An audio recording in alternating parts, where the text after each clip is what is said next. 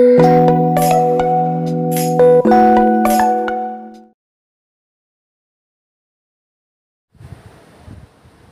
friends welcome to my channel तो friends आज मैं लेकर आई हूँ एक टेस्टी सी मिठाई की रेसिपी इसे बनाना बहुत ही आसान है। इसके लिए हमें ना ही मावा चाहिए, ना ही चीनी, ना ही घी की ज़रूरत पड़ेगी और ना ही हमें गैस जलाना पड़ेगा। तो ये बच्चों को तो ये बेहद ही पसंद आने वाली है। तो फ्रेंड्स इसके लिए हमें ज़्यादा ना कोई झंझट करना पड़ेगा और बनने में बहुत ही इजी है और खाने में बहुत ही टेस्टी तो इसके लिए हमें चाहिए कुछ बिस्किट। बिस्किट, नम, बिस्किट हम मीठे कोई भी बिस्किट ले सकते हैं, मैरीगोल्ड ले सकते हैं, पार्ले जी ले सकते हैं, कोई और भी बिस्किट ले सकते हैं। तो फिर इसे मैंने सब पैकेट को खोलकर मिक्सी में पीस लिया है। फाइन पाउडर बना लेना है इसे। इसमें बस मोटे पीसेस नहीं रहने चाहिए। तो इसमें हम ऐड करेंगे आधी कटोरी, यानी आधी बाउल पिसी हुई चीनी। अगर मैरी गोल्ड बिस्किट ले तो चीनी ऐड कर सकते हैं, अगर कोई और मीठे बिस्किट ले तो चीनी की ज़रूरत नहीं पड़ेगी।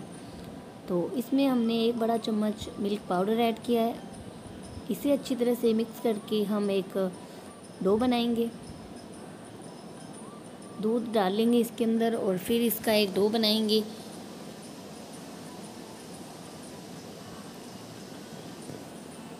हाथों से मिक्स करते हुए डो बना लेंगे।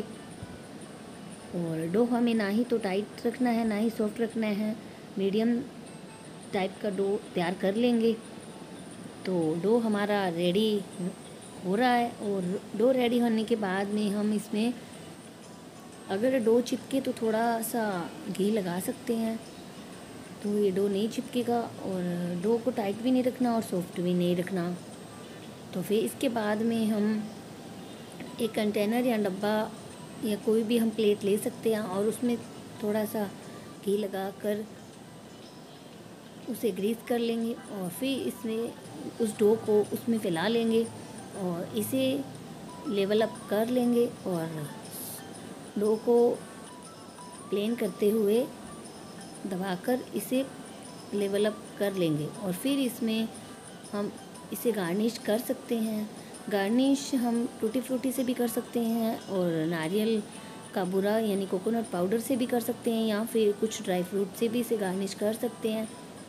तो फ्रेंड्स, हमने गार्निश कर लिया है और दिखने में बहुत ही अच्छा लग रहा है और खाने में बहुत ही टेस्टी है। तो अगर आपको ये रेसिपी अच्छी लगे तो आप ट्राई ज़रूर करिएगा।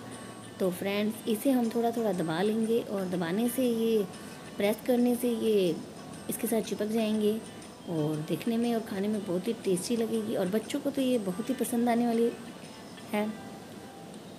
तो इसे मैंने लेवल अप कर लिया और फिर इसके पीसेस कट कर लेंगे। और पीसेस हम जो हमारे जिससे मन करे वैसे उस टाइप से कट कर सकते हैं। अगर आप चाहें तो चौरस कर लें, लंबे कर लें या तिकोने पीसेस कट कर लें। और पीसेस कट करने के बाद इसे प्लेट में निकाल लेंगे। और सर्व करने के लिए हमारी रेसिपी हमारी डिश रेडी है। तो खाने में बहुत ही अच्छी लगेगी और बनने में तो बहुत ही आसान है। इसके लिए हमें ना ही गैस जलानी पड़ेगी, ना ही चीनी की ज़रूरत पड़ेगी।